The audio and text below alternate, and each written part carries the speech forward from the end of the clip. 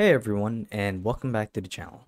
So in today's video, I'll be teaching you guys how to make an image that you have uploaded to your WordPress website using the Elementor plugin full width instead of default. So without further ado, let's dive right in. So the first thing you guys need to do is you want to make sure that you're logged into your WordPress account as an administrator. So it's what I have here. Here's what the dashboard looks like. And the idea is we want to get access to the site builder or the uh, text editor tied to Elementor. So there are a couple ways to get there. You could simply click on the edit site button under quick links, or you could click on appearance, go to editor, or select the corresponding page that you want to edit under all pages, and then click on edit page. So it'll take you to this site right here, as you can see.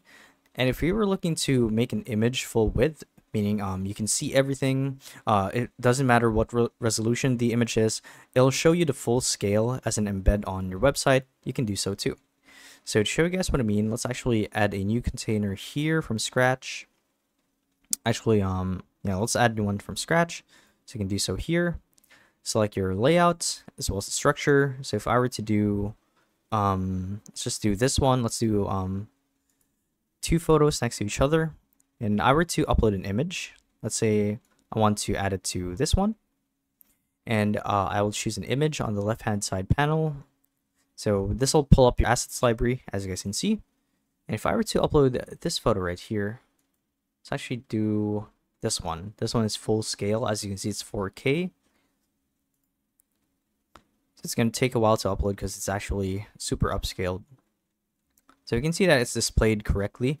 But normally, if this were a different widget and not a uh, not a picture, like let's say it's a background one for, let's do uh, text, for example.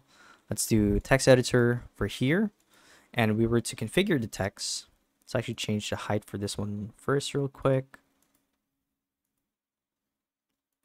I believe it was under typography size. Here we are. Let's make it the same size. And then from here, let's select a background for it. Background, click on this, classic, upload the image. So you can see here that you can't see, really see the full photo. So what you would need to do is go to advanced, go to layout, and you want to select full width for the photo actually. Wait, am I I don't have the right one selected. So custom.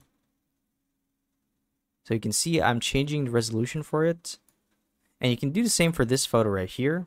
So once again, go to advanced, width, and select full width hit update, save, and you guys are done. So yeah, that's the video.